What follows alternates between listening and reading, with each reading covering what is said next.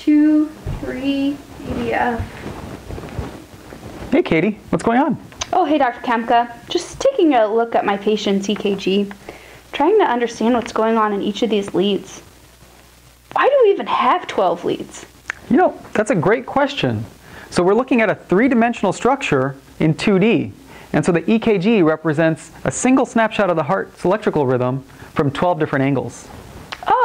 So it's like a chest x-ray when we look at the lateral and the frontal plane. If we look at one view, we might miss something. You got it, exactly right. And those 12 leads tell us different portions of the heart, the anterior, the posterior, and so forth.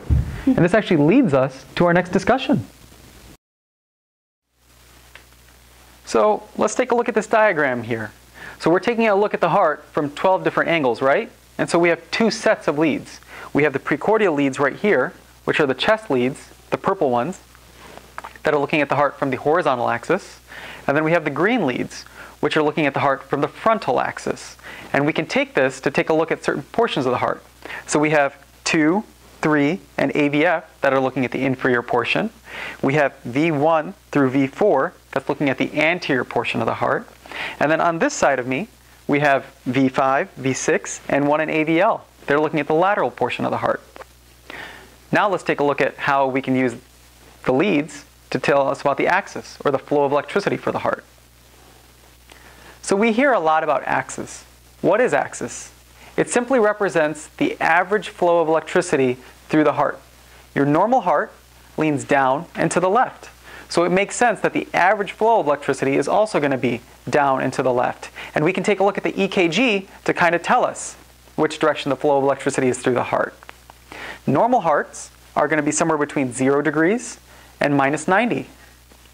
Right axis deviation is going to have the flow of the heart between 105 to positive 180 degrees. Left axis deviation is going to be minus 105 degrees to minus 180 degrees. But it can get a little bit complicated. So my friend Mark here has a very simple method that can help explain things. Yeah, so I really like to use the quadrant method. I've heard about that. I like it. Yeah, so the quadrant method, we mainly look at the QRS complex in two leads, leads 1 and AVF. But what about all the other leads, Mark?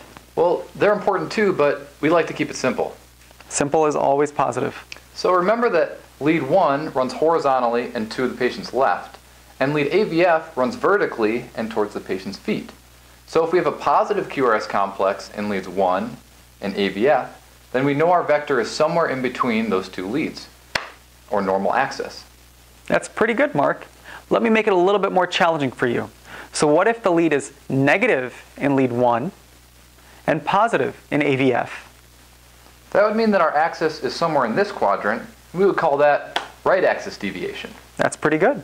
What about if it's positive in lead 1 and negative in AVF? Well, that would mean that our axis is somewhere in this quadrant, and we would call that left axis deviation. Exactly right. So now that we have a better understanding of how to determine axis, let's practice on a couple 12-lead EKGs. All right, now let's practice determining axis. Here we have a complete 12-lead EKG. Which leads do we want to look at when we determine axis? Remember that when we talk about axis, we're talking about the frontal plane. So we want to look at the limb leads. So let's take a closer look at those. All right, which two leads were we looking at when we were using the quadrant method to determine axis? We were looking at lead 1 and AVF. We can see in this EKG that lead 1 is positive, meaning we have a tall R wave predominance, and AVF is negative, meaning there's a predominant S wave. Positive in 1, negative in AVF means left axis deviation. Left axis deviation is commonly seen in conditions like left ventricular hypertrophy, which we can see in patients that have long-standing hypertension. Let's take a look at another EKG. Now that you've got the skills, let's take a look at another EKG. This one has a different axis deviation. So just like Mark taught us, we're going to focus in on those limb leads. So let's zoom in on 1 and AVF. So in 1, we have mostly a downward deflection, that predominant S wave. And then in AVF, we see that it's mostly upright with a tall R wave. This is a right axis deviation.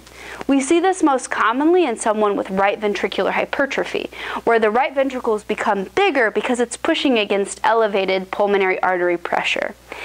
This is often uh, an EKG that you'll see in our pulmonary hypertension patients.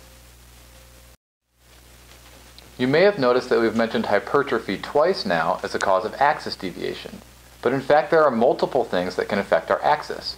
Another important one is ischemia. The mean vector will deviate away from the infarct. Right. Hypertrophy, ischemia, and many other things can affect our axis. It's important to determine the axis on every EKG that you see. So remember, determine rate, rhythm, axis on every EKG every time.